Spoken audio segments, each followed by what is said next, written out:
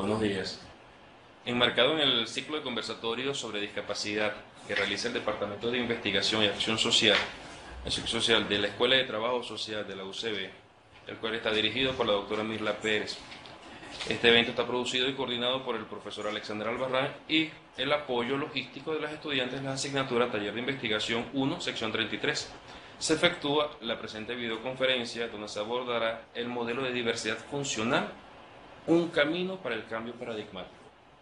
Se cuenta con la intervención virtual de los profesores Javier Romañach y Soledad Armau, Arnau, ambos representantes e investigadores de la Asociación Foro de Vida Independiente y de Verdad, organización española. La dinámica es la siguiente. Durante la primera hora estará con nosotros el profesor Javier Romañach, quien expondrá durante 30 minutos aproximadamente sobre los modelos de la discapacidad, restando 30 minutos para realizar la ronda de preguntas y respuestas. Durante la segunda hora estará con nosotros la experta en filosofía para la paz, filosofía feminista, bioética y diversidad y filosofía de la vida independiente, la profesora Soledad Arnau. Compartirá con nosotros los relacionados con la filosofía y la práctica en España de la vida independiente, desarrollándose posteriormente 30 minutos para preguntas y respuestas. Agradecemos por favor mantener los celulares, apagados y este, damos inicio, damos inicio sí a la videoconferencia con la intervención del profesor Javier Romañach.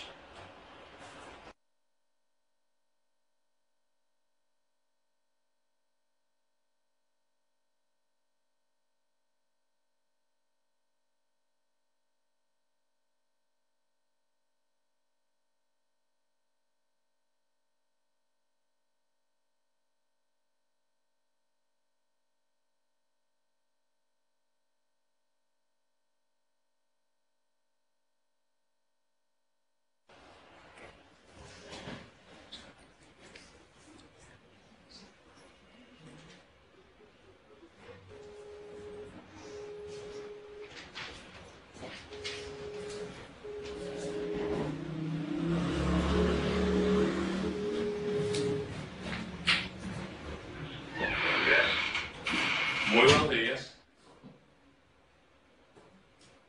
Javier, ¿cómo estás? Sí, señor. Un placer. ¿Cómo estás?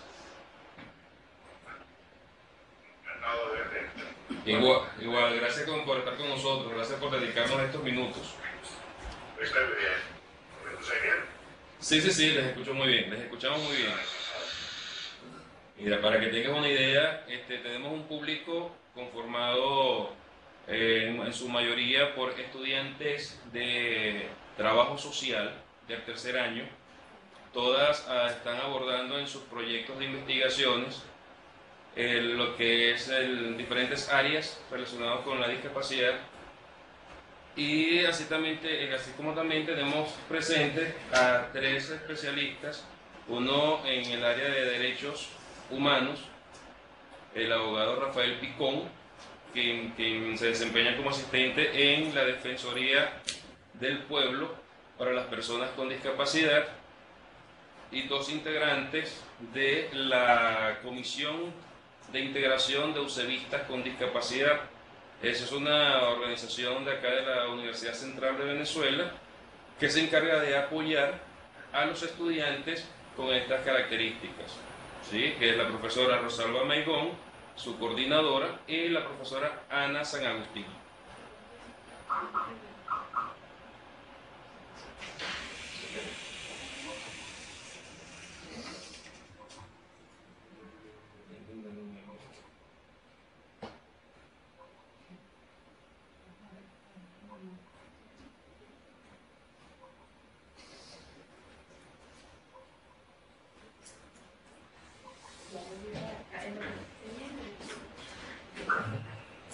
Ya volví. Sí. Pero no está encendida la cámara. La imagen está detenida. ¿Sí? Hola, profe, ¿cómo está? Cuando, cuando algo así, ¿no? Sí, la, dos personas, dos profesoras, dos profesoras que son representantes activas de la Comisión de Integración de Usevistas con Discapacidad. Es una, un, organismo, un, ente de nuestra Universidad Central de Venezuela que trabaja con el apoyo, la atención a los estudiantes con discapacidad. Sé, para que tengan una idea de cuáles son los participantes que tenemos. Ya sabemos que durante la primera media hora estarás hablando sobre los modelos de diversidad y luego tendríamos entonces 30 minutos para hacer la ronda de preguntas y respuestas. ¿Te parece bien? Me parece estupendo. Bueno. Lo que me hacen es proyectar PowerPoint, entonces teóricamente saldrá ahí en la pantalla, dentro de un poquito, a te lo que es este. Que ver si sale. Un momentito, que ahora mismo está. ok. Está intentando. Está arrancando. Ok, ya arrancó. Vale, luego tendré que poner un par de vídeos para pasar del PowerPoint y de los vídeos, pero se me escucha, entiendo, ¿no? Sí. Eh, cuando quieras empezamos. Eh, Sí, ya podemos comenzar. Bien. Más que hablar de profundidad de los modelos, porque he visto Pues se va a hablar un poquito de ellos. Voy a hablar de nuestra mirada. ¿no? La idea es que lo que voy descubriendo con los años es que al final todo es cuestión de opinión.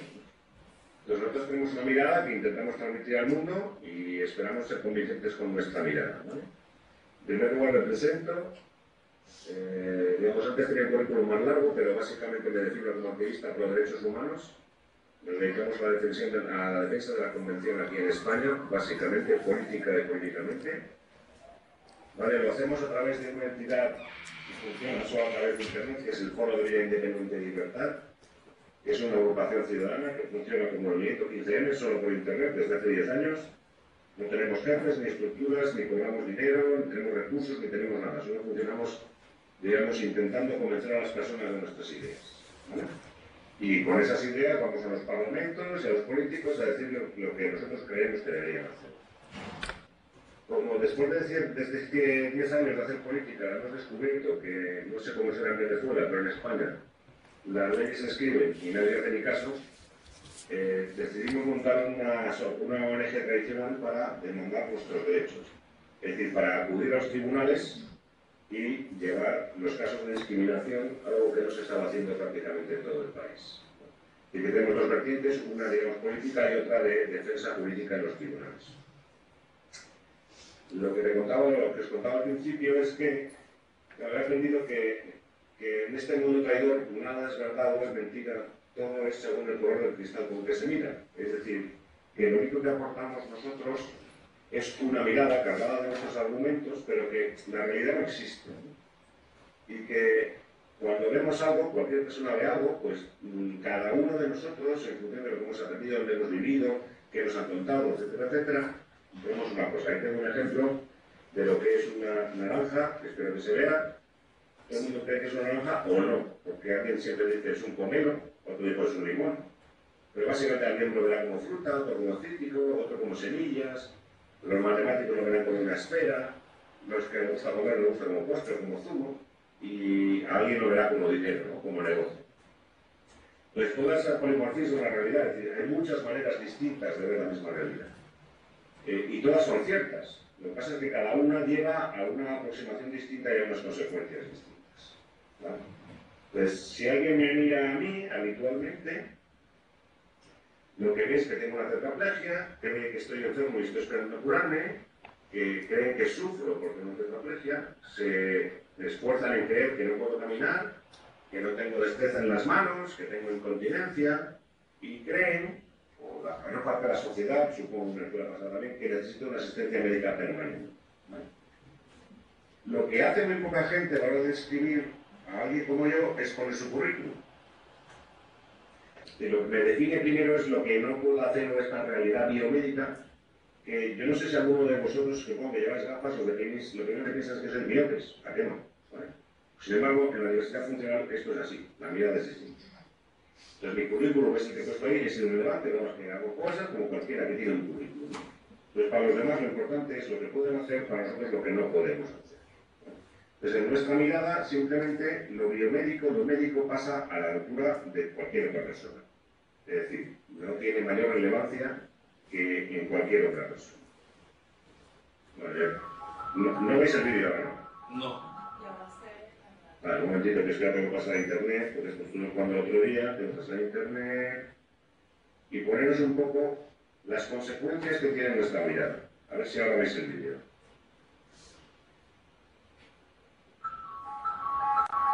¿Se ve? Sí. Vale. Ahora sí comenzó. Vamos a acabar. Bien, entonces, esta es nuestra mirada sobre la realidad, sobre el planeta, sobre la diversidad.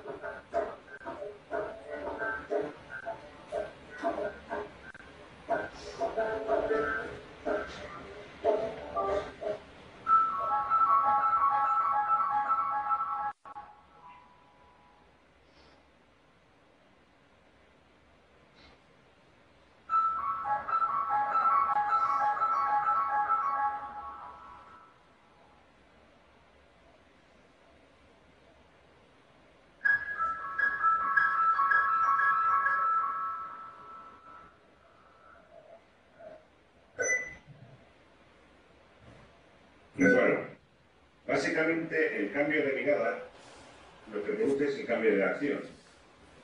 Es decir, pues cambia la visión de todo lo que se hace después. Por lo tanto, a raíz de nuestro cambio de visión, que empezó de una manera y acabó de una manera más profunda, lo que nos ha llevado es a cambiar nuestra acción, es decir, a pasar de ser sujetos de calidad a ser sujetos demandantes de derechos. Yo me he dedicado al activismo durante casi 20 años, en diferentes facetas, y de lo que me di cuenta es de que había algo que no funcionaba. Por lo cual, digamos, aunque me dedicaba al principio a la tecnología, después me empecé a dedicar a la filosofía para encontrar respuestas a las preguntas. Y luego me di cuenta de que eh, filosofía es más importante, son más importantes las preguntas que las respuestas. Es decir, que en realidad lo que hemos estado haciendo durante muchos años es dar respuestas a las preguntas equivocadas. Y que cambiando las preguntas se producen sorpresas. Como ejemplo, aquí tenemos una, cuando yo pregunto a la gente cuántas personas han utilizado o utilizan una silla de ruedas, bueno, la mayor parte de la gente no sabe qué contestar. El porcentaje, yo les digo, esto es el 1,5, el 2% de las personas. Pero cuando cambia la pregunta y pregunto cuántas personas han utilizado o utilizan una silla con ruedas, todos se quedan básicamente boquiabiertos. Porque descubres que básicamente toda la sala que tienes allí, en los países occidentales, el 100% de las personas son usuarios de sillas de ruedas. En alguna parte de su vida. Ya lo fueron, algunos todavía lo somos y otros lo serán. La pregunta es si el 100% de la población utiliza sillas con ruedas, porque hay escalones. De esta manera lo que conseguimos es que se vea que no hay nada específico en nosotros, sino que esta diversidad funcional afecta a todos los seres humanos en algunas partes de su vida.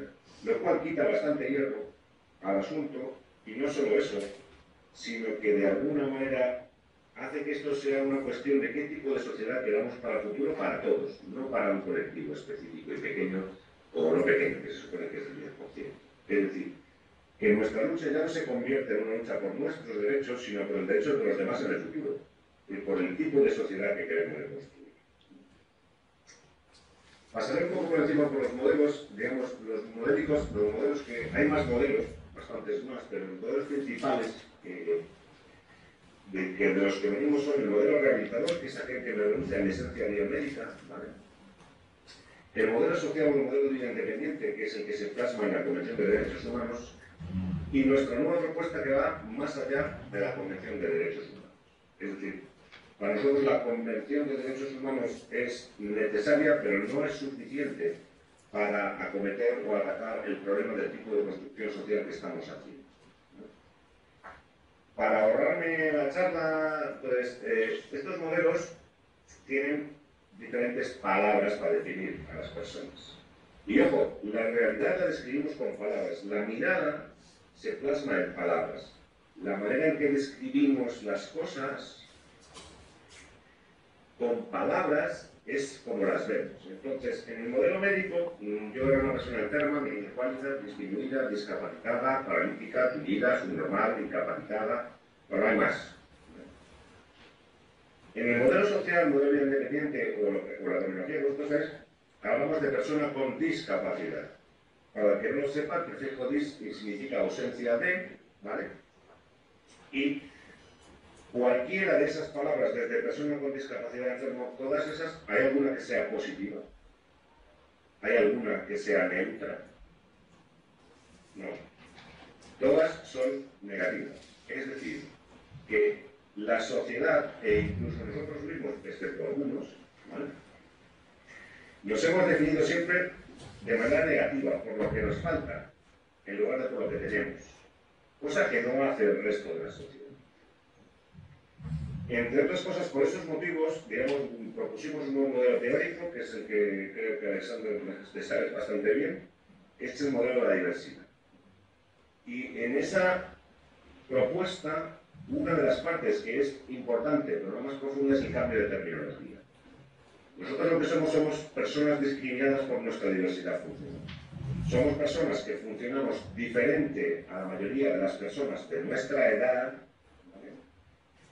y que como consecuencia de esa manera diferente de funcionar somos discriminados. Eh, es decir, desplazarse lo hacen casi todos los seres humanos, como decir todos, y lo hacen de diferentes maneras. La mayoría de las personas de mi edad lo hacen con sus piernas poco tiempo al día, porque utilizan autobuses, coches, están en el sofá, duermen, pero bueno, un poquito de tiempo al día utilizan las piernas. ¿vale? Sin embargo, esa función de desplazarme la hago con mi silla de ruedas. La misma función, diferente manera de hacerlo. Y discriminación por funcionar diferente de la mayoría. Y la palabra clave aquí es la discriminación. Pues desde nuestro modelo la palabra discapacidad queda erradicada porque nos negamos a definirnos de una manera negativa y pasamos a definirnos de otra manera que para nosotros es mucho más apegada a la realidad, que es somos diferentes a la las personas y somos discriminados por ello. Os voy a poner una intervención que tuve en televisión hace poco, si consigo llegar aquí. Lo digo porque resumo bastante bien lo que digo y como me han dicho que esto sale en la tele, pues tiene una cierta influencia, pues os voy a poner un resumen, espero que se vea bien, si no se ve, me dices. Sí se ve. Pensador, escritor,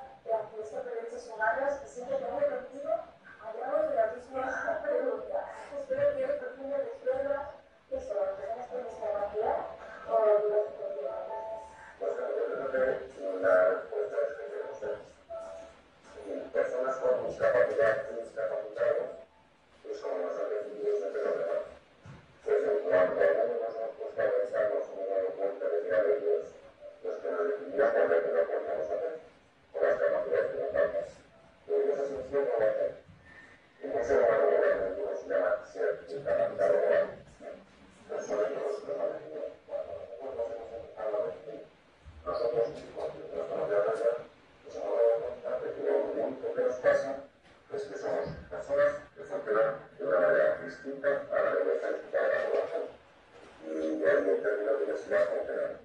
En todos tenemos capacidades diferentes. Es más profundo, porque si nos empezamos a definir con nuestra capacidad y a valorarnos por nuestra capacidad, ¿qué ocurrirá cuando no hacemos? ¿Qué ocurrirá cuando tenemos hacer? ¿Qué ocurrirá con las personas que parece que no tienen ninguna capacidad? Pues tenemos en la valoración la persona con su capacidad, con la que leemos el criterio de debate con los humanos. Pero el debate con los humanos simplemente es el humano. Y las ideas de todos los seres humanos, de una manera única. Todas las personas, independientemente de su diversidad, deberían convertirse en esta sociedad. Totalmente de acuerdo, Javier. La, la terapia, sobre todo su, su contenido y toda la filosofía es la libertad. La libertad es una especie de acrónimo que resume toda la filosofía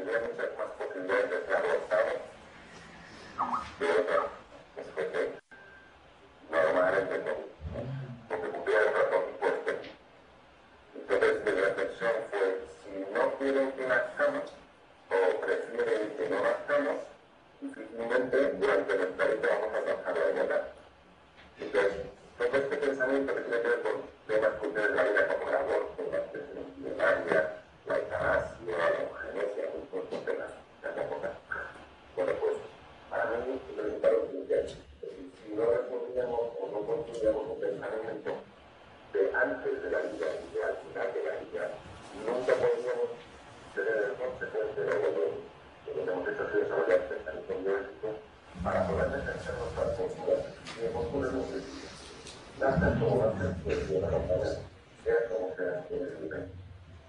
Y conviene, porque si ser como final, acabará siendo como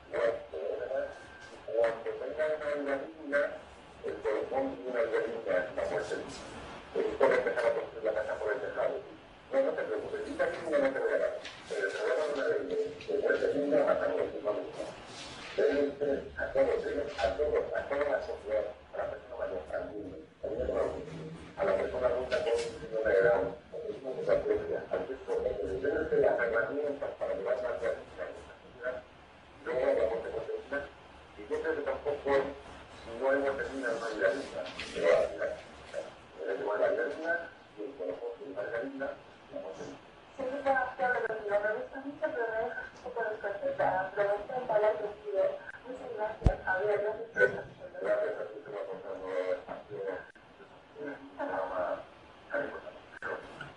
Bueno, entonces, grosso modo, con esto se explica mejor nuestro pensamiento. Yo digo que está bastante bien eso resumido ese programa.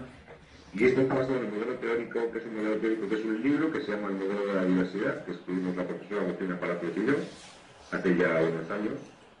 Y mm, básicamente las ideas están expresadas en, en el vídeo que acabáis de ver. ¿no? Javier, Em, ¿Se me oye bien? eh. Javier, eh, el video no Sí. se escuchó nítido. Ah, muy bien. Sí, no se escuchó muy bien. ¿Tú podrías, por favor, resumirnos muy brevemente? Sí, bueno, básicamente el video viene a, cometer temas bioéticos que quizá, digamos, la diferencia de este modelo con respecto a los modelos anteriores, que tienen siempre transparencia, ¿vale? El modelo social se basa en que si se nos dan las herramientas, nosotros seremos capaces de ser como los demás, ¿vale? Y de, seremos tan capaces como ellos si tenemos las herramientas. Mientras que en el modelo de la diversidad, eh, lo que damos respuesta es a preguntas tan importantes como eh, ¿merece la pena que una persona como yo nazca? Es decir, acometemos temas bioéticos en la convicción de que el valor de la vida de los seres humanos es, atemporal y que en el momento en el que se da menos valor a nuestras vidas antes de nacer, la consecuencia es que tenemos menos derechos. Y esa es la idea básica. Entonces, no se trata de ser capaz o no capaz, es el rechazo absoluto a la capacidad o de manera de medir a los seres humanos, sino dar respuesta a la dignidad del ser humano. Se nos olvida que venimos de sitios y de culturas en los que la capacidad no era un valor. Que el único valor que tenemos es nuestra propia existencia es lo que tenemos que tener. Y que esa existencia en sí misma es valiosa. Entonces, de alguna manera, al dar ese paso atrás, fue mucho más fácil incluir a toda la diversidad intelectual, mental, física, porque como afecta a todos los seres humanos, en alguna época de su vida todo era más sencillo y más coherente. Ese es el nuevo modelo que se propone. Que lleva incluido el cambio de terminología, de la diversidad funcional, pero que es mucho más profundo de lo que parece, porque da soluciones a retos bioéticos que hasta ahora no daban una, no tenían una buena respuesta. No sé si queda más o menos claro o no. Entonces, la clave es erradicar la capacidad como concepto de evaluación del ser humano y hablar de dignidad, y luego dar un par de pensadas de lo que es dignidad, y dejar de hablar de normalidad y hablar de diversidad. Porque la diversidad, como se ha visto en el primer vídeo que se veía mejor, es inherente a la naturaleza, es inherente al planeta, es inherente al universo y es inherente al ser humano. Ya no solo la diversidad de seres humanos todos distintos, sino la diversidad del propio ser humano que cuando tiene un año no se parece nada al que tiene 25, que no se parece mucho al que tiene 50 desde el punto de vista funcional y desde el punto de vista moral e intelectual. Es aceptar nuestra propia fragilidad en la diversidad como clave fundamental. La diversidad existe, es, no podemos hacer nada contra ella, pero simplemente siempre ha existido y siempre existirá. Y lo que hay que dar es dignidad en la diversidad. De esa manera enseguida pegas el salto y te das cuenta de que pertenecen a colectivos discriminados de toda la vida, ¿no? Como la gente de otra raza, de otro género, de otra cultura, de orientación sexual, de mayores, la gente que. Entonces, en- entroncamos en esta gráfica donde tenemos parcialmente la misma discriminación que el resto y tenemos una parte específica de discriminación. Curiosamente, eh, la palabra discapacidad, que tiene tenga el significado, mm, es la única condición que se llama discriminación. Discapacidad, eh, la discapacidad no existe, existe la discriminación por diversidad funcional y discapacidad lo que quiere decir, pero como semánticamente es una palabra, digamos, que no significa eso, es muy difícil salirse de la playa ¿vale? Y luego el concepto de dignidad que pretendemos nosotros, o que pretendemos que es un concepto instrumental, se basa en dos cosas muy, muy sencillas. En aplicar la Convención de los Derechos Humanos, condición necesaria pero no suficiente, y en afrontar los retos bioéticos que, que tienen que ver con la muerte digna, la vida digna, la selección embrionaria, etcétera, etcétera, porque desde allí las respuestas son más contundentes y dan más coherencia al pensamiento. Y yo con esto creo que he acabado, ¿vale? Sí, muy Si no me bien. equivoco, Alexander, está media hora más o menos, ¿no? Sí, sí, más o menos, está muy bien, la verdad. Está muy bien el tiempo. Entonces, dejo de compartir esto, pues si alguien tiene alguna pregunta, que me vean la cara, si es que esto se para, no se para, ya no sé. No, está, no se ve la... Tu cámara no se ve. Mi cámara no se ve. A ver, a ver, sí en este, a ver. Un momentito. Eh, Ah, pero voy a cámara aquí a ver ahora. Ahora se ve, espera que no se me ve bien. Ah, sí, ¿no? Ahí se me ve. Ok, ahí sí se te ve. Perfecto. Sí, bueno, entonces vamos a, a, a revisar algunas inquietudes, algunas preguntas que puede tener nuestra audiencia. Muy bien. Cuéntenos. Cuéntenos. ¿Todo está claro? Dígame. Entre lo que llamamos muerte digna y vida digna. Eh, Javier, una de, nuestras estudiantes nos pregunta si puedes aclarar un poco más sobre lo que es muerte digna y vida digna. Vale, yo creo, a ver, eh, para mí todo es vida digna. Es decir, para llegar, a la muerte digna hay que tener, una vida digna, y la vida digna, como colofón, tiene una muerte digna. Una muerte digna para mí es rápida, indolora, sufrimiento. ¿no? Lo que ocurre es que, eh, como nadie se da cuenta de que la vida de la gente como nosotros que estamos discriminados por diversidad social no es digna, en el sentido de que no vale lo mismo que la de los demás, ni tenemos los mismos derechos, eh, se ha puesto muy de moda, especialmente en España, la idea de darnos una muerte digna. En Europa, yo no sé si en América se habla mucho de esto, ¿no? Pero nosotros, nuestra postura es muy clara. El día que tengamos una vida digna, que podamos elegir todo lo demás, entonces es el momento de hablar de leyes de muerte digna. Pero esto de hablar de muerte digna y poner leyes de muerte digna mientras no tengamos vida digna, para nosotros es construir la casa por el tejado. Es decir, se trata de dar derechos humanos a las personas, de darles mismos valores a todas las vidas y luego el que queda ese que se vaya. Pero abrir las puertas a que se vaya la gente que está discriminada y que lleva una vida indigna nos parece que es un error de construcción social. No sé si ha quedado claro. Ok, sí, quedó muy claro. Yexali. Ajá, este, quería saber cómo se, cómo se asimila esta propuesta en España. la del uso. Sí, este, nos están preguntando que, cuál es la, la, la posición de la sociedad española en cuanto a esta propuesta de modelo. Perdón, no te he entendido la pregunta. ¿Puedes repetir? Sí, ¿cómo se ha asimilado esta, este modelo, esta propuesta de modelo ahí en España? El ¿Cómo se modelo de diversidad funcional. Básicamente, es- ¿ves preguntando cómo funciona, cómo se acepta esta propuesta? Sí, exactamente. Claro que sí. Eh, desde el punto de vista terminológico, contamos con el rechazo de toda Sudamérica y de toda Europa y de todo Estados Unidos. Eh, básicamente, simplificando. ¿vale? Hay algunas personas en Sudamérica que intentan entender lo que queremos decir y en España, sin embargo, sigue siendo un movimiento minoritario. Eh, somos pocos, las cosas como son, pero el término funciona muy bien y la idea funciona muy bien, sobre todo fuera de nuestro colectivo. En nuestro colectivo nos hemos convertido en la rama radical de defensa de derechos, porque claro, te lo crees, al final, cuando te ves de otra manera, esto cambia tu manera de ver la vida, cambia tu mirada completa. Entonces, te vuelve- hay mucha más gente que hace activismo. Entonces, desde el punto de vista de nuestro propio colectivo, tenemos un éxito escaso en España, aunque importante. Tenemos un éxito muy importante en otros ámbitos en España, en ámbitos universitarios, teóricos, etcétera, etcétera. Ten en cuenta que esta propuesta, se proponer un nuevo término no es una cosa fácil, más si vienes de ser cuatro, ¿vale? como somos todos, en un país en el que tenemos 6.000 ONGs, que reciben subvenciones por seguir llamándose discapacidad. Y desde luego en Europa no tenido un rechazo frontal y en el prácticamente toda América también. Eh, lo cual para nosotros no es novedoso, es decir, las mayores resistencias a los derechos de la mujer las tienen las mujeres, las mayores resistencias a la- al cambio de visión de, las, de los homosexuales las tuvieron los homosexuales, y esto es fácil, nosotros proponemos una mirada. Con nuestra mirada y con nuestras palabras se construye una sociedad mejor. Se envejece mejor, se vive mejor. Creemos que la sociedad se hace es más justa. El que quiera que la acepte, el que no quiera que la acepte. Y yo desde luego me niego a seguirme llamando persona con discapacidad porque me niego a definirme por lo negativo. Eh, conviene aclarar que digamos, el detonante de este cambio de terminología fue precisamente una conferencia de un experto en derechos humanos en la convención, que nos dijo, esta, la conferencia dijo, sois el único colectivo conozco que se define de una manera negativa a sí mismo. Y me quedé de piedra. Digo, Dice, me.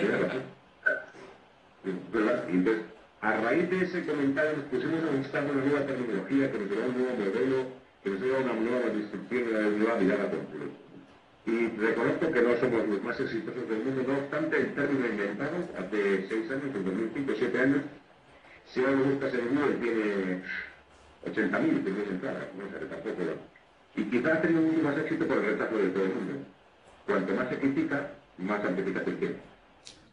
Sí, pero no te creas que, que la- el rechazo desde América es tan, tan generalizado. Porque No, recién- no, bueno, a ver. No, te explico, te explico. Eh, No sé si es generalizado, pero no, te- te cuento. tenemos una lista de derechos humanos, ¿no? en la que he debatido intensamente sobre esto y he fracasado precisamente siempre. Fíjate, Javier. Pero vamos, que tratando gente como tú y hay más gente como nosotros que está en toda América, digamos, y en España también más como despacio, pero despacio. Fíjate una cosa, Javier. Este, recientemente me enteré por profesionales del área de la llamada educación especial que desde el Pero ministerio pero, eh, especialistas en el área de educación especial. En educación inclusiva, ¿No? que te, te, te, te traigo mal. Sí. Y hace poco te has enterado de que los, los especialistas Sí. en En educación especial. educación especial. Sí. Que, que desde el Ministerio de Educación venezolano están proponiendo el uso ya de la terminología eh, de diversidad funcional. Bueno, me alegro mucho, pero no- me alegro mucho, que esperemos que funcione. De todas maneras, también creemos que las palabras sirven para cambiar acciones. Pero si Exactamente. solo usan palabras, pues tampoco sirve. ¿no? Pero vamos, que te agradezco mucho y ojalá triunfe, porque nosotros creemos que realmente es una mirada mejor para la sociedad y a la realidad. Y por eso me alegro de que Venezuela esté puntera, en España eso no es así. Bueno, eh, están proponiéndolo desde el Ministerio, pero sin darle mayor información a los profesionales. Solamente cambien el término, pero hasta allí. Espero que se logre el cambio de acciones tal cual como tú dices. Hombre, yo, yo soy de los que opina que cambiando las palabras transforman las realidades, transformamos la mirada de la realidad por tanto transforma la vida. Y luego al final se produce la curiosidad por qué hay debajo de la palabra. ¿no? Y no solo la palabra, mucho más, que es lo que he intentado transmitir aquí brevemente en media hora. Exactamente. Y yo, hay, hay tanto que casi nadie se da cuenta. Cuéntame. Eh, um, nada, eh, no sé si eh, tiene previsto de- del material que, um, que Javier eh, pudo reproducir así, o, o preguntarle en todo caso. eh, creo que la- la- el video que quiso complementar su intervención este, lo vi yo en un programa de TV. Sí. Ah, ok, ok, sí está. Ah, ok, yo creo que eso complementa un poco lo que, para seguir conociendo la filosofía, ¿no? Pues, en esta Perfecto. entrevista. Javier, ¿habría posibilidad que nos facilitara las láminas que no- nos presentaste? La- la- la- el PowerPoint, los vídeos, Sí, los vídeos. sí.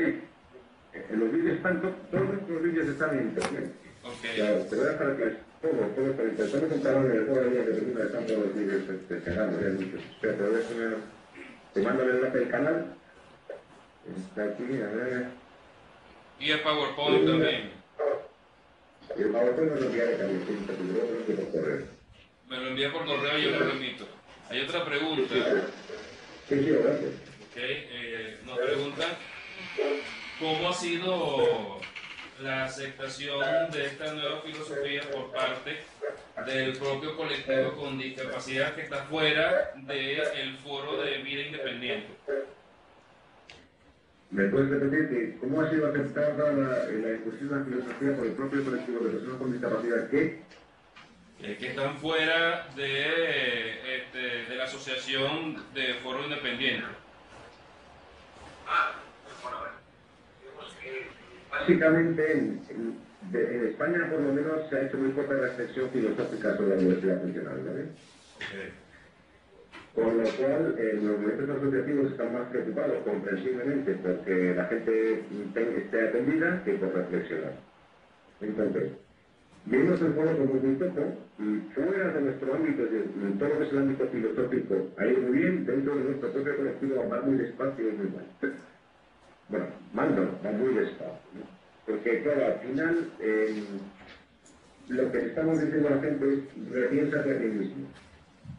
Ok, Estamos diciendo no solo a las personas con diversidad funcional, sino a toda la sociedad. Repiénsate a ti mismo. Repiensa en qué sociedad vives. Y no tenemos una tradición, no sé en Venezuela, pero en España no tenemos mucha tradición ni de pensar, ni menos de repensarnos a nosotros mismos y de cuestionarnos nuestros propios errores y nuestras propias equivocaciones. Entonces, el éxito es tirando moderado. De las 6.000 ONGs que tenemos en este país, habrá como 50 que apoyan esta filosofía y este pensamiento. No obstante, tampoco hemos encontrado ningún, eh, ninguna, eh, en, el, en ámbito del pensamiento no hay ninguna respuesta. No, no hay quien se haya atrevido a contar, digamos, la contrarréplica. Toda la contrarréplica suele ser es que ya la palabra discapacidad está muy implantada, es que eso, es que eso no es importante, ese tipo de actitud. No hay ninguna contrarréplica filosófica. Sí, acá en Venezuela también se ve, inclusive en el ámbito académico, personas con doctorado y demás que hablan que el término no es importante, sino la acción, la actitud hacia las personas. Eh, inclusive hablan de discapacitado o de personas incapacitadas. Lo digo por experiencia propia. Lo que da risa. Más o menos. Más o menos la. Sí, bueno, aquí hay otra pregunta. Eh, ¿Qué es esto? ¿Qué es la La oficina? oficina de vida independiente no sale en el libro en el que funciona como oficina de Sí, vida pero- independiente. ¿Cómo funciona? ¿Qué hacen? Ah, ¿cómo funciona, cómo funciona la, la oficina de vida independiente? Este, ahí en España, sí, ¿cómo- ¿quiénes suministran los recursos y todas estas cosas? Por ejemplo, si me equivoco, me pregunto una pregunta, es cómo funciona la ley de promoción de autonomía y la dependencia en España, ¿no? Supuestamente ¿Esa es la pregunta? de. Sí, no, de cómo funciona la oficina, la organización como tal. La organización, perdón. La organización como tal, de vida, de, el foro de vida independiente, ¿cómo funciona? A nivel de Ah, organización. el foro. Sí, Ah, el foro de pues básicamente es un, lo que antes se llamaba lista de correo y es una red social. O sea, se va uno a la página web, escribe, me escriben a mí, les invitamos a formar parte, no sé si quieres formar parte de uno y esto es correo electrónico todo.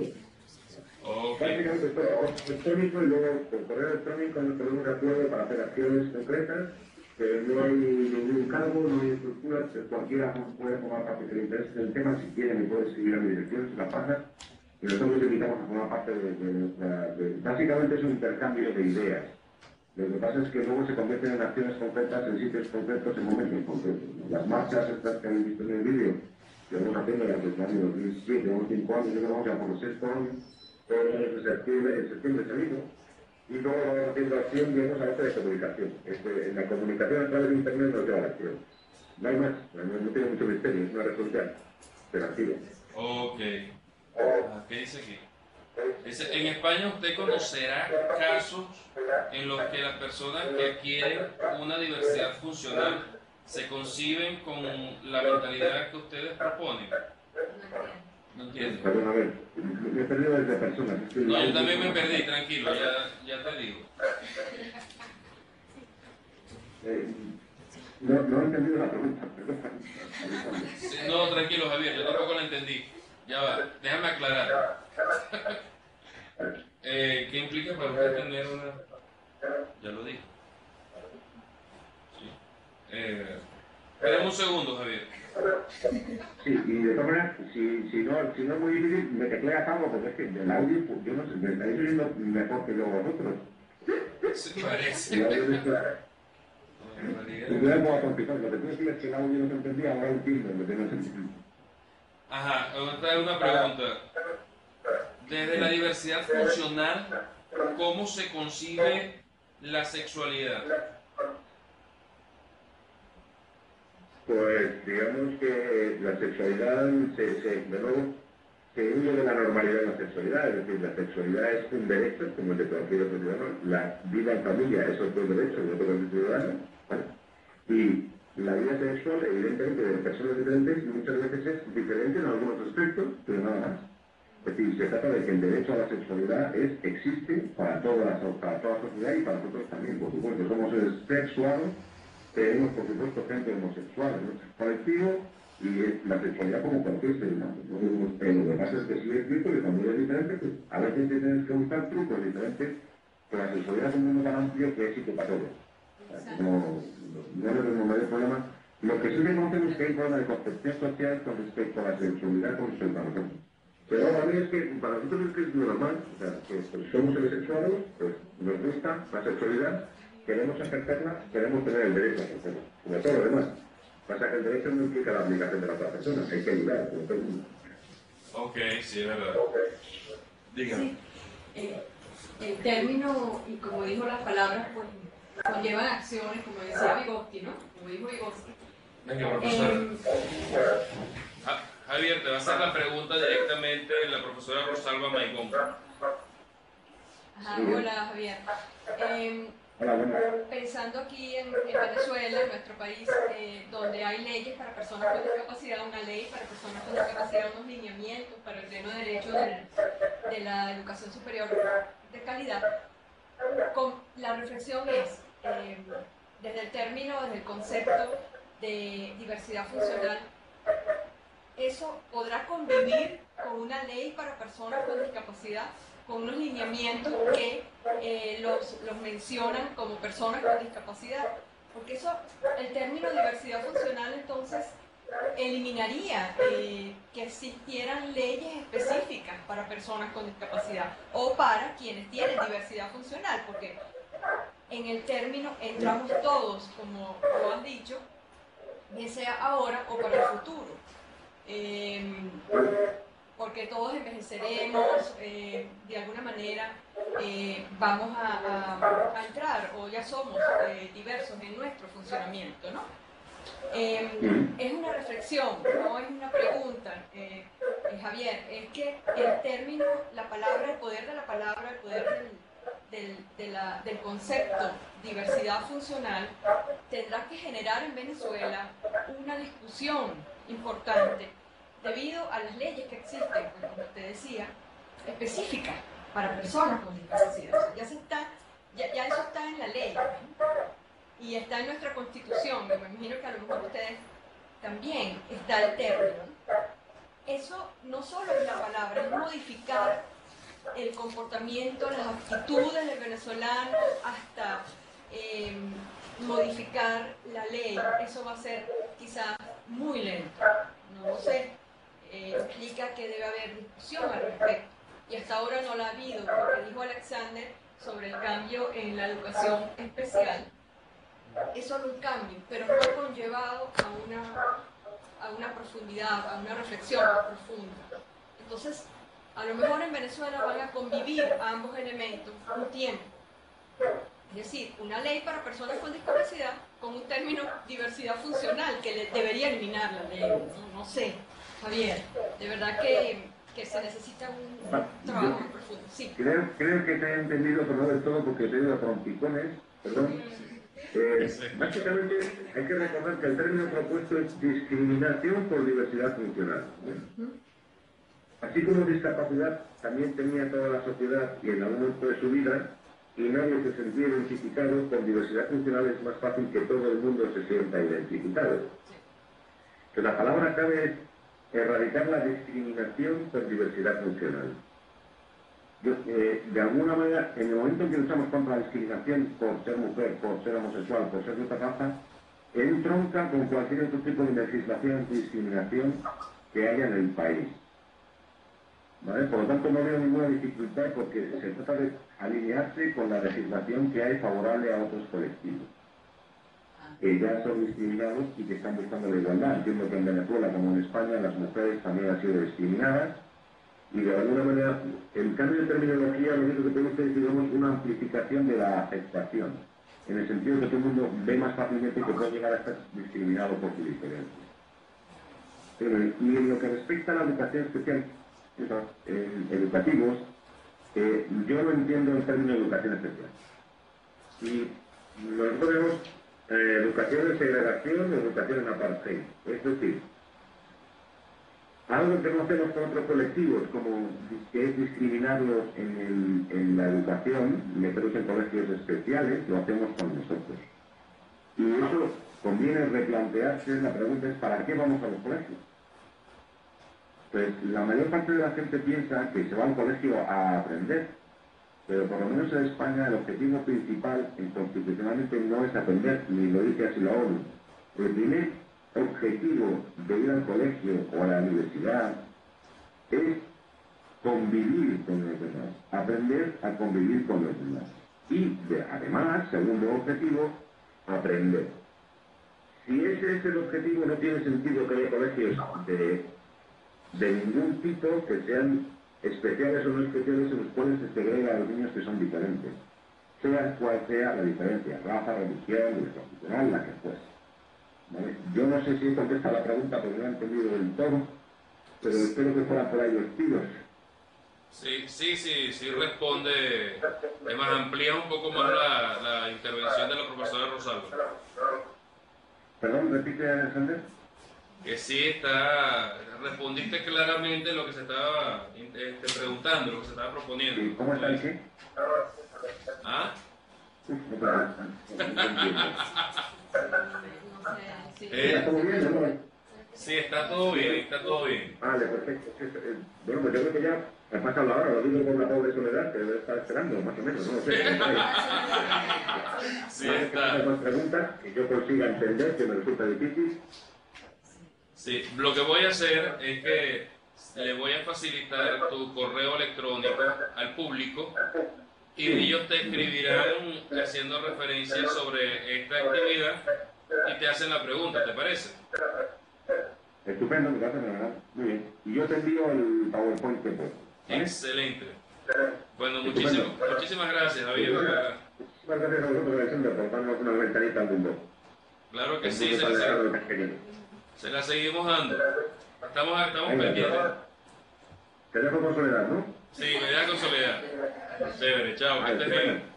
Chao. Chao. Chao.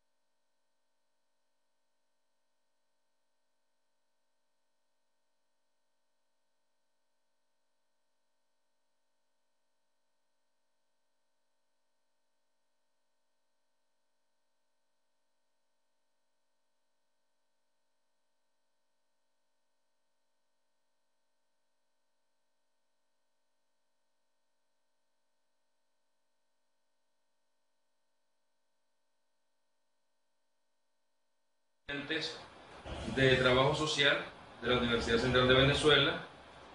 Tenem- tenemos a dos profesoras que integran la Comisión de Usevistas con Discapacidad. Este es un organismo de un ente de la Universidad Central que se encarga de atender, de, de acompañar a, la- a los estudiantes con discapacidad que ingresan a la universidad. Y tenemos también este, al abogado Rafael Picón, que él es asistente en la Defensoría del Pueblo para las personas con discapacidad acá en Venezuela. Entonces, para que sepas, este, y ya, las cámaras son tuyas. Pues fenomenal. Fenomenal, fenomenal. Pues nada, que lo digáis. Sí, bueno, ya, ya puedes comenzar. Sí. Eh, ¿Qué te iba a decir, Alexander? Eh, ¿Vosotros tenéis ahí el- la presentación de PowerPoint? ¿La, la habéis puesto? No, no le he puesto. No le he puesto, no le he... ¿Queréis poner? Eh, en la, Dime, dime. la O coloco... da igual, pasamos, pasamos de ella y hablamos. Sí, pasa, pasa la de ella y hablamos, no te preocupes. Javier hizo así también y alcanzó el tiempo. O sea, él presentó todo su PowerPoint y luego discutimos. ¿Te parece? Vale, pues de acuerdo. Bueno, pues entonces sí, me parece estupendo. Sí, vale, de acuerdo. Lo que hacemos es que, bueno, de todas formas, como esa presentación la podéis eh, mandar a, bueno, pues a las personas que estén ahí presentes en cualquier momento, ¿vale? Pues, pues eso, pues empezamos. ¿Empezamos entonces? Empezamos entonces. Somos todo oídos. Vengamos de acuerdo. Venga. Venga, de acuerdo. Alexander, pues muchas gracias. Eh, bueno, desde luego, antes que nada, pues eh, muchísimas gracias a, todos vosotros y vosotras pues, por la invitación a, participar bueno, pues, en, esta sesión ¿no? que, habéis realizado para hablar sobre diversidad funcional. ¿no? Eh, mirad, yo um, soy activista en vida independiente eh, y he tenido pues el honor y la verdad es la oportunidad, sobre todo, ¿no? yo creo que más que el honor, de poder ser la coordinadora de la Oficina de Vida Independiente de aquí de la Comunidad de Madrid, que es la primera oficina que existe en España, en sus primeros casi seis años de vida. Ahora en enero he dejado de, de serlo para dedicarme pues ya más eh, a mi ámbito académico. Pero bueno, la cuestión es que, eh, pues no sé, si Javier os ha hablado, ¿no? Creo, sobre los temas, eh, sobre el tema de los paradigmas de diversidad funcional. Si nos centramos en el que es el de vida independiente, eh, yo creo que de manera así muy resumida se puede decir que la vida independiente o el movimiento mundial de vida independiente que nace en los Estados Unidos en- entre los años 60-70 en la Universidad de Berkeley, California, eh, es una teoría política eh, y es una teoría social, ¿no? Y lo que demanda es eh, que las personas con diversidad funcional podamos ser eh, ciudadanas y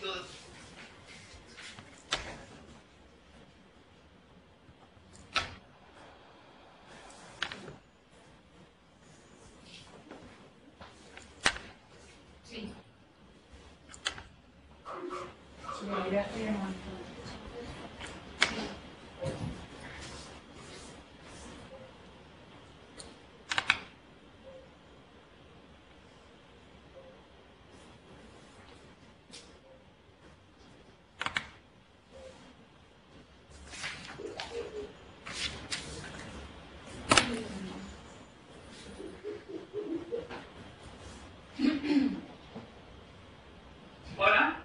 Hola. Se- Bueno. Bueno, Algo ha pasado con el Skype.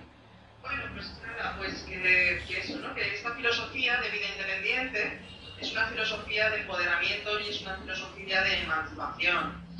Eh, para las personas eh, con diversidad funcional, principalmente para las personas con gran diversidad funcional, creo yo, ¿no? Eh, una de las cosas fundamentales del movimiento de vida independiente, del modelo de vida independiente, es no concebir a los seres humanos con diversidad funcional como personas enfermas, sino, o lo que os había dicho inicialmente, el concebir a estas personas, en todo caso, Eh, existen eh, estos momentos activistas eh, de orden mundial en vida independiente que siguen diciendo que somos ciudadanos y ciudadanas de segunda categoría todavía a día de hoy. ¿no? Aquí en el caso de España, una de la principal lucha eh, por la vida independiente está fundamentalmente con la nueva figura laboral que se llama asistente personal. Eh, el asistente personal sería entendido como aquella herramienta humana eh, o como un agente de igualdad de oportunidades eh, para las personas con diversidad funcional. Y esta figura laboral, la verdad es que tiene unas características peculiares que hace que sea bastante distinta pues, a lo- al sentido más tradicional eh, de personas eh, profesionales que se puedan dedicar a, pues, al tema de la. Pueden ser cuidadores, como pueden ser, bueno, pues eh, aquí llamamos auxiliares también de ayuda a domicilio, etcétera, etcétera, ¿no? El modelo de vida independiente es un modelo que apela a las capacidades de las personas con diversidad funcional. ¿no? El mensaje eh, se podría resumir del siguiente modo. Eh, yo desde la perspectiva de vida independiente no me concibáis como una persona enferma, eh, sí soy una persona discriminada por mi diversidad funcional, ¿vale? Y eh, eso es lo que el- sobre todo los británicos hablan de la perspectiva social, sociológica de la discapacidad, ¿no? el hecho de que somos un grupo social oprimido y marginado y bueno, pues, que está en, lucha por la, por la liberación y su empoderamiento. ¿no? Y, bueno, pues, eh, pues eso, ¿no? Que sería con, con el tema, pues, de decir que con los apoyos humanos, en este caso, pero también tecnológicos, obviamente, ¿no? Eh, que, que fueran necesarios, pero también de accesibilidad, etcétera, etcétera. Con, todo, con, todos esas, eh, con todos esos matices, esos recursos adicionales, eh, una persona con diversidad funcional puede ser una persona igualmente capaz que en este caso el grupo de referencia que serían las personas sin diversidad funcional. Eh, yo la verdad es que trabajo habitualmente también en el campo de- del feminismo y yo creo que al igual que ha existido eh, no sé, cuando hablamos del, del feminismo, o de los feminismos, eh, la división eh, clásica ¿no? que existe entre el feminismo de la igualdad y el feminismo de la diferencia. El feminismo de la igualdad, ¿no? que es eh, digamos, el primero, el que se inicia, eh, que bueno, pues, de algún modo luchamos por esa igualdad en comparación con, con los varones, pues yo creo que ese sería también el símil adecuado para de los modelos de la diversidad funcional en el caso del modelo de vida independiente. El feminismo de la igualdad y el, fe- y el modelo de vida independiente eh, yo creo que son muy similares y son muy convergentes. Y después estaría como una evolución que sería el feminismo de la diferencia y sería el modelo de la diversidad que supongo que ya os ha hablado Javier Romañac sobre ello. Em, deciros que la vida independiente eh, hoy en día es un derecho reconocido por las Naciones Unidas a través de la Convención Internacional sobre los Derechos de las Personas con Discapacidad de diciembre de 2006 y que tiene un artículo, o el número 19, dedicado al derecho a vivir eh, de manera independiente y a estar incluido e incluida en la comunidad. ¿vale? Eh, en ese documento internacional, eh, yo la verdad es que sí que creo que es muy importante en, eh, vamos, en este artículo 19 del derecho a la vida independiente, cuando se dice eh, que se tiene derecho a la asistencia personal que sea necesaria para facilitar su existencia y su inclusión en la comunidad y para evitar su aislamiento y separación de esta. Me parece muy importante porque esto realmente lo que está ah, reivindicando y está reiterando es en que no tenemos que eh, no tenemos que centrarnos en el modelo biomédico de la realidad humana de la diversidad funcional, sino en un modelo, en este caso, social, ¿no? que es el que también eh, social y de enfoque de derechos humanos, que es lo que eh, aboga Naciones Unidas. ¿no?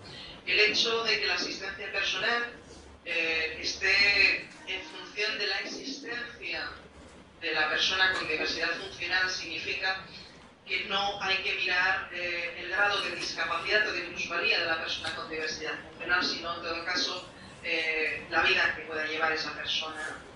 Una persona puede llevar una vida muy activa, puede llevar una vida poco activa, pero la cuestión es el hecho de, de que realmente, bueno, pues eso, ¿no? Que, que se mire y se tenga como referente un poco el proceso vital, la trayectoria vital, vital social, eh, más que biológica, estrictamente hablando. Eh, bueno, pues eh, eso, ¿no? Lo que, como os había dicho, el movimiento de vida independiente, que se ha convertido en un movimiento mundial a lo largo de los años, bueno, dispone de oficinas de vida independiente por todo el mundo.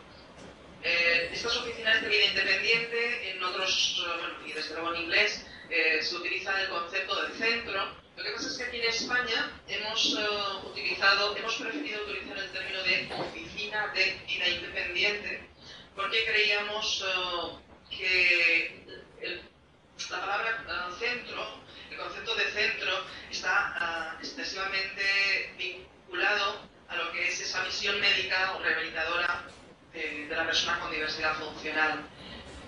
Um, Aquí en España, eh, la filosofía de vida independiente entra a través de lo que es la comunidad virtual, eh, Foro de Vida Independiente y Libertad, ¿no? del que Javier Romaña y yo somos miembros. Javier Romaña era uno de los, bueno, es uno, de los fundadores de ese foro virtual, ¿de acuerdo? Y que nació a mediados de 2001 y, bueno, pues es una comunidad virtual que, como, no sé, como podréis imaginar, imagino, eh, bueno, pues eh, no tiene jerarquía, eh, está compuesta por personas con y sin diversidad funcional o con distintas diversidades funcionales, porque precisamente una de las cosas que ha ocurrido a lo largo de la historia para las personas con diversidad funcional es que cuando nos asociamos, siempre nos hemos asociado eh, la clasificación ¿no? que, hemos utilizado precisamente es la, la biomédica, ¿no? es eh, en función de las patologías. ¿no? Si yo tengo lesión medular, pues vamos con el grupo de los lesionados medulares. Si yo tengo ceguera, pues etcétera, etcétera. ¿no? La cuestión es que, bueno, pues eso, ¿no? que la comunidad virtual eh, intentamos o hemos intentado romper desde el primer momento pues, con ese tipo de tipología. Eh, podríamos decir que el Foro de Vida Independiente aquí en España es un grupo de presión, es un grupo eh, que realmente bueno, pues, eh, ha hecho grandes logros porque a través de, su gran impulso por la implantación de la filosofía de vida independiente en España y también bueno, pues de, del enfoque de los derechos humanos, ha hecho posible pues, que en el año 2003, que era el año europeo de las personas con discapacidad o con diversidad funcional, eh, aquí en España, en Tenerife, se celebró un congreso, el primer congreso europeo sobre vida independiente. ¿no? De, por primera vez, eh, líderes eh, del mundo en vida independiente, bueno, pues vinieron, vinieron a, a, a, dar esas charlas y impartirlas. Em, y el año siguiente, en el año 2004, apareció el primer proyecto de vida independiente en España en el País Vasco, que inicialmente atendía a tres personas y que en la actualidad bueno, pues atiende a unas 45 personas o así aproximadamente. Y en el año 2006, en julio de 2006, fue cuando nació lo que es la Oficina de Vida Independiente de la Comunidad de Madrid, que como os he dicho, es la primera oficina que existe en España, porque solamente existen dos, nada más, que las dos nacieron en, en el año 2006. Eh, la de la Comunidad de Madrid, que es la que yo he coordinado durante estos años uh, del, comienzo, eh, pues eso fue en julio, y la otra pues eh, es, nació en octubre de 2006. ¿Qué más os puedo decir? Bueno, pues que la Oficina de Vida Independiente, aquí en España, eh, bueno, es la, la, Comunidad de Madrid, que es la que yo he coordinado en concreto, pero bueno, la de Barcelona lo mismo, A ver, está financiada totalmente, en este caso, por la Administración Pública Autonómica y la gestiona una asociación que en este caso tradicionalmente ha sido una asociación dedicada a personas con lesión medular que se llama ASPAIN Madrid. La Administración eh, Autonómica que, que financia en su totalidad eh, el proyecto es la Dirección General de Servicios Sociales de la Consejería de Asuntos Sociales de la Comunidad de Madrid. Y bueno, fundamentalmente lo que ofrece la Oficina de Vida Independiente en este país es eh, los servicios de asistencia personal. Para eso, mm, bueno, pues eh, está atendiendo en estos momentos a 63 personas de la Comunidad de Madrid, a 63 personas con diversidad funcional física mayores de edad y eh, que lleven una vida activa a través del estudio o del trabajo. Como máximo conceden, como máximo, como máximo, y de manera un tanto excepcional, pero llegan a conceder 16 horas al día de asistencia personal de lunes a domingo, que es una gran cantidad de horas, y bueno, 365 días al año, ¿no? Que, al fin y al cabo eso es de lo que se puede tratar también, ¿no?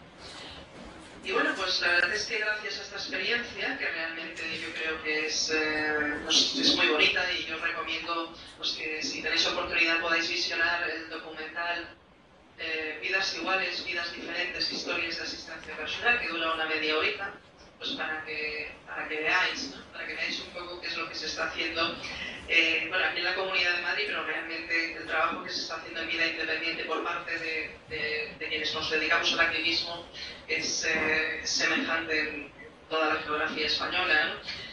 Eh, pero bueno, eh, estas 63 eh, vidas con diversidad funcional que están participando como, pues eso, participantes eh, en el programa de apoyo a la vida independiente a través de, la Oficina de Vida Independiente, eh, algunos de ellos por primera vez se han independizado de sus familiares, otros por primera vez eh, han tomado la decisión de la maternidad o la paternidad. A alguna otra persona, bueno, pues ha podido manifestar su orientación sexual con, mayor facilidad, etcétera, etcétera, ¿no? Son vidas, yo creo que, bueno, pues, que de algún modo es lo que, lo que se intenta, ¿no? El, llevar una vida, pues lo más, con, la mayor normalidad posible, ¿no? Y, y, bueno, pues eh, no sé, eso prácticamente era lo que os quería contar, porque eh, después, eh, como veréis en la presentación, eh, cuando la tengáis, eh, pues realmente, bueno, pues eh, veréis que también os he puesto una serie de bibliografía que existe en castellano sobre vida independiente, también una guía práctica que se hizo en el año 2010 sobre asistencia personal, ¿no? para que tengáis una idea. Pero bueno, nada, simplemente de manera ya resumida y termino, es que yo creo que al igual que decíamos las feministas hace muchísimos años, ¿no? que la anatomía no es destino, pues yo creo que la filosofía de vida independiente también resume lo mismo, ¿no? Es el hecho de, que por primera vez eh, que la anatomía no nos condene pues, pues a, vivir vidas segregadas, ¿no? Desde el ámbito residencial, desde el ámbito educativo, desde el ámbito laboral, etcétera, etcétera. Y, y bueno, pues eh, el lema mundial de, de, vida independiente es nada sobre nosotros y nosotros, ¿no? Y yo creo que, bueno, resume ¿no? bastante adecuadamente pues, pues qué significa todo esto. Pero bueno, no sé, si os parece, nos dejamos así y me preguntáis lo que queráis. Sí, bueno, muchísimas gracias, Sole. eh, yo tengo preguntas, no sé ustedes. Sí. Sí, eh, a mí me gustaría que me dijeras, que me dijeras si existe alguna diferencia entre ese movimiento de vida independiente que emergió en los 60, 70 en Estados Unidos y posteriormente en Inglaterra, con respecto a la visión que se tiene actualmente desde España de este movimiento de vida independiente.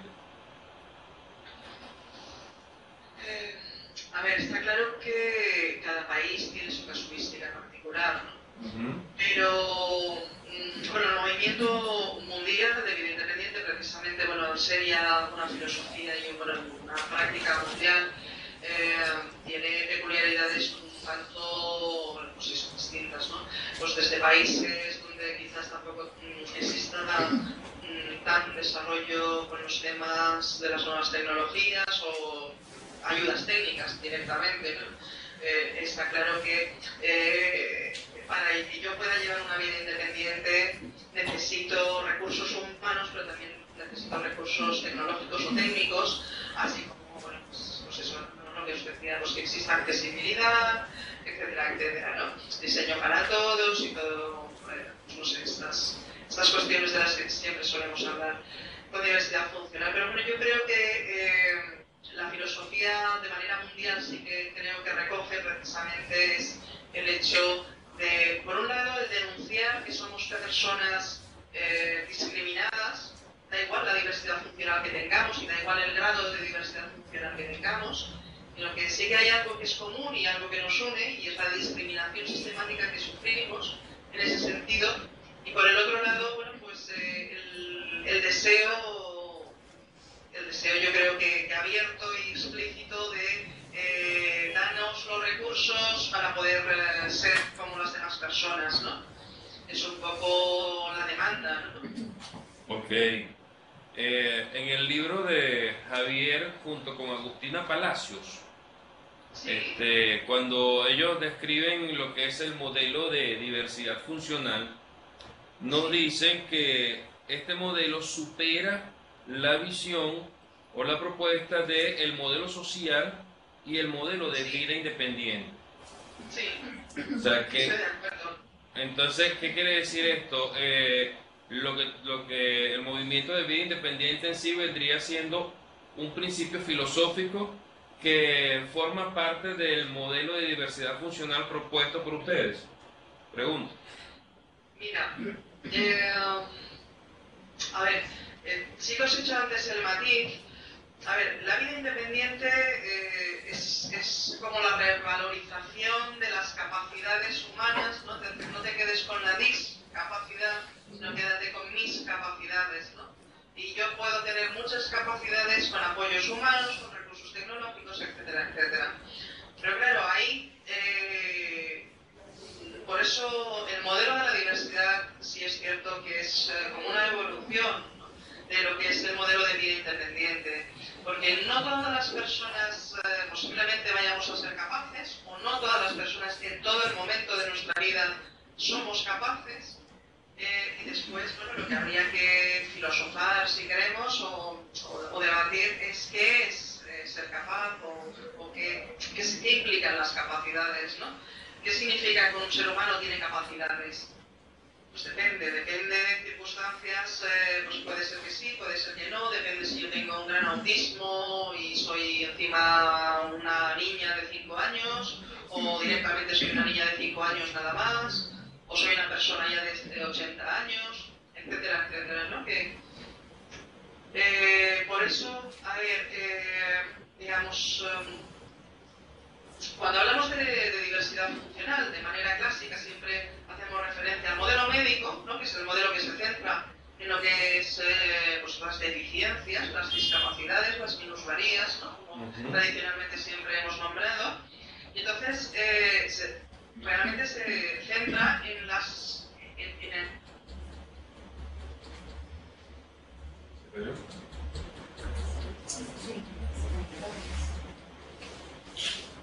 Vale, cinco minutos terminamos.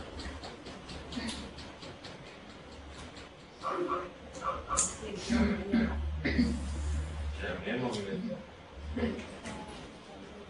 Siempre está todo ahí.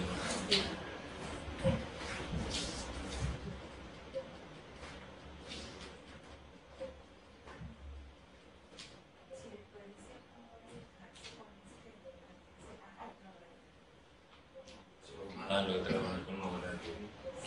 Me fascina.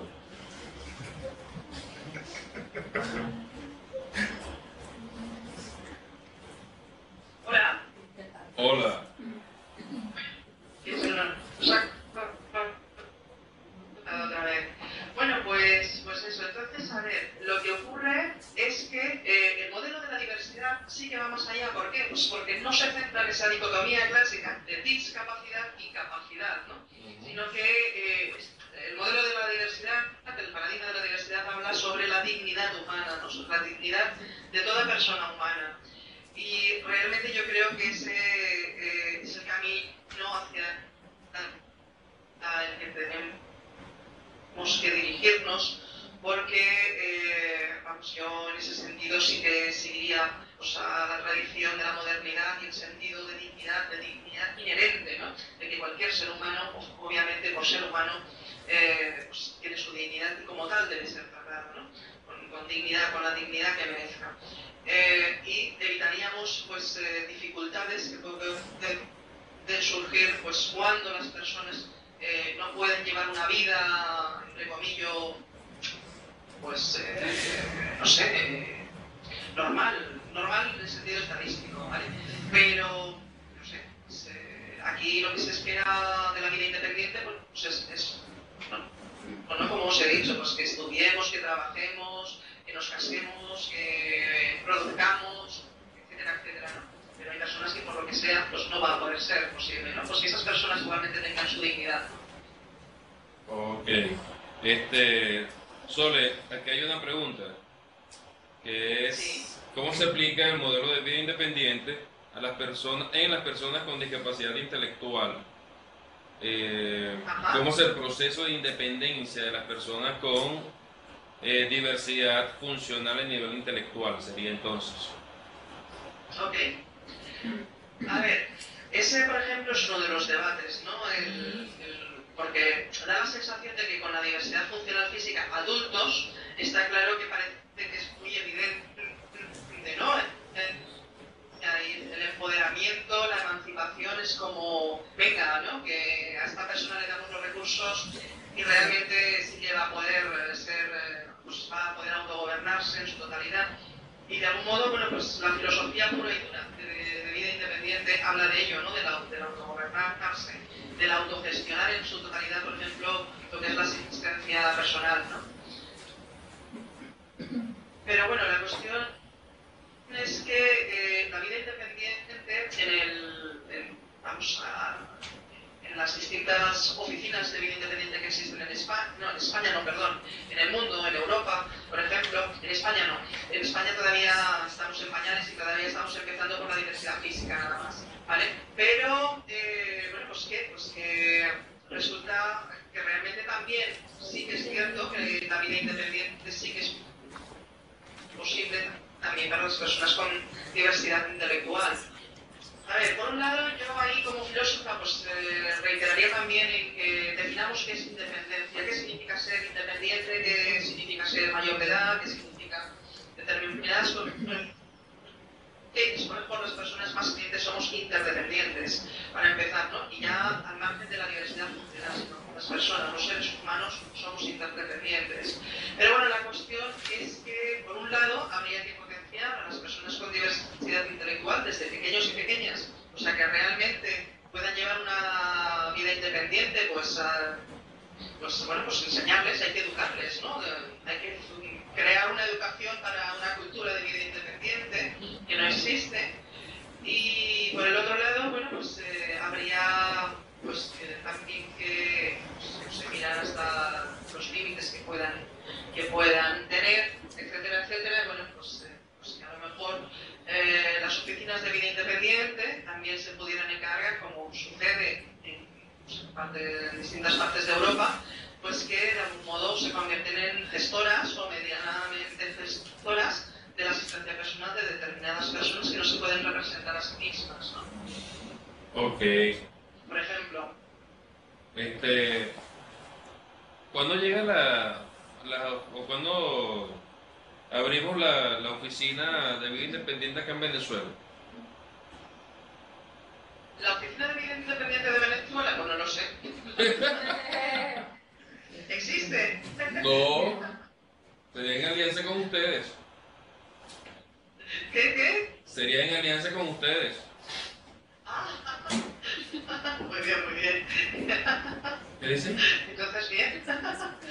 Bueno, no sé, la cuestión es que, bueno, está claro que la cultura de vida independiente debe ser la cultura base eh, de las normativas y de la legislación, ¿no? O sea, y de las políticas sociales, perdón, que pueden existir eh, sobre diversidad funcional y desde luego siempre, siempre teniendo el gran paradigma que yo creo que es eh, la Convención Internacional de Derechos Humanos. ¿no?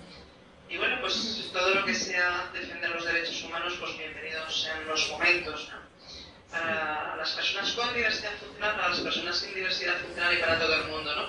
Porque fijaros que aquí, por ejemplo, con esta experiencia de vida independiente, no solamente es la persona con diversidad funcional la que se emancipa, la que de algún modo pues, por fin y por primera vez se empodera, sino que también es las personas que forman parte de su entorno, ¿no? Pues no sé, las madres dejan de ser las eternas eh, cuidadoras, están esclavizadas eternamente a cuidar a sus familiares, de sus parejas, etcétera, etcétera, ¿no? Que de algún modo de lo que se trata es de que todos llevemos una vida pues lo más normal posible, ¿no? Y bueno, pues ahí yo creo que sí. Desde luego, bueno, yo he sido una persona, por ejemplo, que he estado institucionalizada durante años, ¿no? Eh, de mi vida, entonces la verdad es que sí que, sí que sé, y sí, soy, soy una gran convencida ¿no? de, de, de esta filosofía de vida independiente y creo que sí que se debe apostar por ello, ¿no? Sole, este, ya una última pregunta para cerrar. La figura de asistente personal es aplicada para en todos los casos de diversidad funcional. Sí, de lo que se trata es de eso. A ver, aquí en España desde luego no tenemos esa experiencia, pero de lo que se trata es de eso y desde luego a nivel mundial sí que funciona. La, eh, la asistencia personal puede ser para cualquier diversidad funcional, también para todo el ciclo vital de una persona con diversidad funcional. Entonces, eh, pues eso, ¿no? Por, porque las oficinas de vida independiente, cuando tienen que gestionar la asistencia personal, la gestionan. Si no la tienen que gestionar, y enseñan, y educan a las personas con diversidad funcional a que aprendan a gestionarse su asistencia personal, ¿no? Pues, eh, pues, pues es una de las maneras, ¿no? De, eh, pues, de que la persona aprenda a tomar la rienda sobre su propia vida y que realmente bueno, pues pueda, pues eso, pueda, pueda hacer una vida con el apoyo humano, ¿no? que es el asistente personal. Cuando hablamos de asistente personal, quiero que tengáis muy claro que es una persona contratada, ¿vale? O es una persona que existe una relación laboral. Una persona, la persona con diversidad funcional se convierte en jefe o jefa de sus asistentes personales y, eh, bueno, pues lo lógico es que tenga un contrato laboral y, bueno, pues, pues que no es un colega, que no es un voluntario y que realmente son las personas con diversidad funcional quienes dicen y quienes forman realmente a la persona asistente personal y por el otro lado que realmente son quienes eh, marcan las tareas tiene que realizar ese asistente personal. ¿no? Eh, por eso es distinto a las otras profesiones más clásicas eh, de cuidados y de atención, donde se supone que ya vienen con un manual debajo del brazo y te dicen, sí, sí, que yo me sé tu patología y que yo sé lo que es bueno para ti y, y por eso lo voy a hacer. No, es que no se trata de eso, se trata de que yo quiero vivir con la máxima libertad posible y por tanto, para eso sí que es cierto que en este caso yo necesito apoyos humanos. Exactamente, tienes toda la razón. Bueno, Sole, mira, este, de verdad muy agradecido por, por tu tiempo, por toda la, este, tu intervención, bien interesante, bien importante para nosotros. Eh, voy a facilitar tu correo electrónico a la audiencia y ellos cada uno te hará las preguntas respectivas, las consultas. Yo por mi parte de, quisiera conversar contigo sobre los, sobre los ciclos, el ciclo vital de la familia con personas con diversidad funcional. ¿Sí? Este, pero eso te lo hago por correo electrónico. Entonces, en nombre de la Escuela de Trabajo Social de la Universidad Central de Venezuela,